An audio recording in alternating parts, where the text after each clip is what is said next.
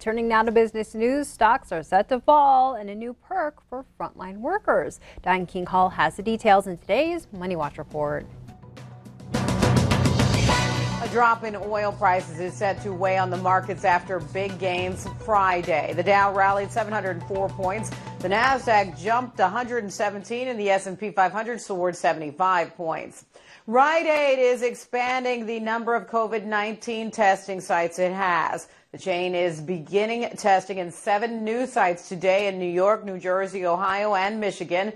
That brings its total to 20 sites across the country. The expansion is in partnership with the Department of Health and Human Services. The drugstore chain says it is planning to open more sites in Pennsylvania, Delaware, Virginia, and Idaho. Shake Shack says it will be returning the $10 million in federal loans it received from the Paycheck Protection Program in full. Executives at the fast food chain claim they made the move to allow for restaurants that needed most to receive funding. Shake Shack says it was able to secure separate funding last week.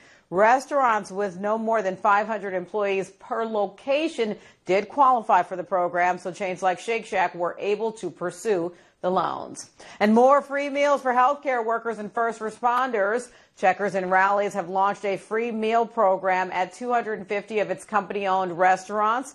Workers need to come in dressed in uniform to receive the deal. The combos range from burgers and chicken sandwiches to hot dogs and chicken wings, seasoned fries, and a drink are included. And that's your CBS Money Watch report. For more, head to CBSMoneyWatch.com. I'm Diane King Hall.